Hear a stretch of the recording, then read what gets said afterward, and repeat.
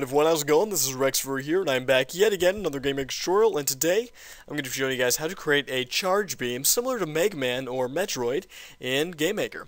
So this is a really cool and really fun thing to do, I might add, and before we actually start the tutorial off, I need to give some credit to a guy named Bike Kid 2222. This guy is where I learned how to even come up with this in the first place, and I'm using his system that he's created here, and this is on the Yo-Yo Games forums, I might add, and uh, he was actually helping another person to uh, kind of figure this out, and so I thought, you know, I'd go ahead and give him credit, um, even though he may never even see this video, just in case um, he does, or, you know, something like that. I want to give him credit for coming up with the system. This is really cool, really easy to use system, and um, it just takes uh, really any time at all, actually, to set up. And although it's not as easy to understand as we get down to uh, kind of this section down here, um, it's pretty... Ah, excuse me. Um, it's pretty easy to um, kind of get the basics of, uh, I was going to say basics there, but basis of uh, kind of what it does and how it works. So credit to him for coming up with this, and uh, yeah, that's pretty much it there. Alright, so now that we have that out of the way, let's go ahead and uh, begin this thing. This is really fun to do. I'm just I'm excited to tell you guys the truth. I actually just figured out how to do this a while ago. Uh, and when I say a while ago, I basically mean like 20 minutes ago. Really cool thing to do, and I can't wait to get right into this. So, let's get right into this. Alright, so I already have everything pre-made for the pacing, or the sake of pacing, rather, in this video, and uh, you'll have to excuse me. There's some pancakes sitting next to me, or I guess not next to me, a couple feet away from me, and I am, uh, can't wait to eat them. Pretty hungry, so, you know, excuse me if I kind of, uh, I guess, uh, don't necessarily complete my sentences, I guess, all the way. so uh, yeah, I'm a bit hungry, as you guys might be able to tell. So I'm gonna try to get this over with quick, but uh, not too quick. All right. So anyway, as uh, as I was gonna say here, I already have a uh, created sprite, and uh, this is a uh, I believe it's a yes, a 32 by 16 sprite. You guys can have whatever the heck you want to have, um, but this is just gonna be used for my little blaster here. And you want to also have a, uh, oh yeah, I forgot to mention, you want to have these sprites for this tutorial, because without these, it's not necessarily going to work. Um, well, I mean, you could have whatever the heck you want to have, but just make sure you have two sprites uh, set out for this tutorial.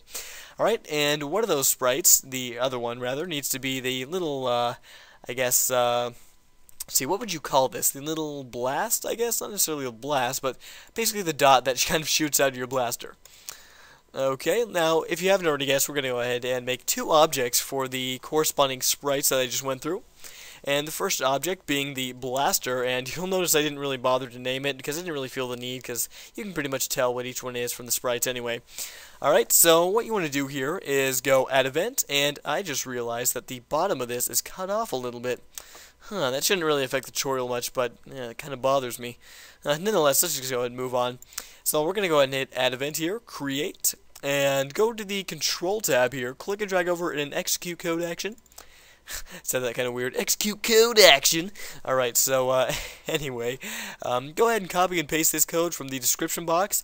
Um, it should be there, um, and if it's not, go ahead and let me know.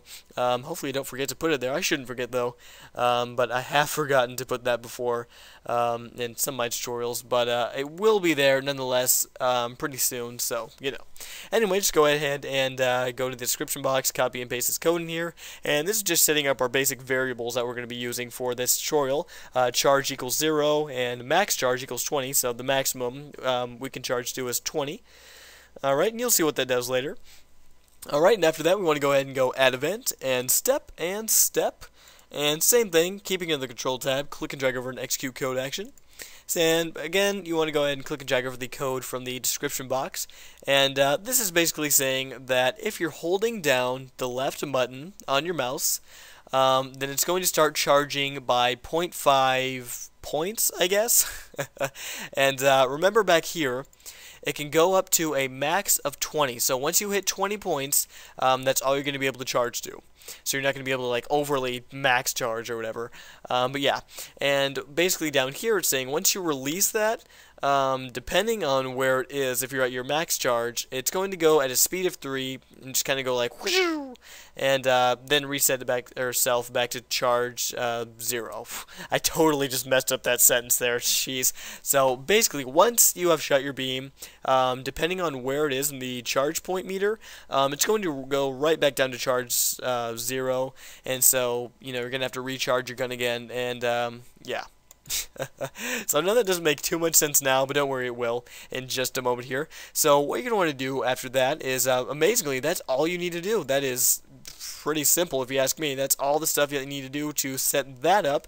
Um, the last thing you want to do is obviously set your blaster object anywhere in the room going to go ahead and uh, set mine right here. And as you'll notice, or as you might not notice, I'm using GameMaker 8, and that was kind of accidental. I don't really like to use GameMaker 8 for uh, tutorials because I find it a bit annoying to use with all the different features and stuff like that. You know, if you press right click, you have to do the delete thing and all that annoying stuff. Um, so I tend to use GameMaker 8.0 I was going to say GameMaker 0 there. Um, but anyway, we're going to go ahead and run this really quick. And so I can show you guys the end result. But let me go ahead and change the uh, kind of... Uh, uh, parameters of my recording space here, just so you guys don't see my desktop and stuff and get all um, distracted. So let me go ahead and do that here just a minute.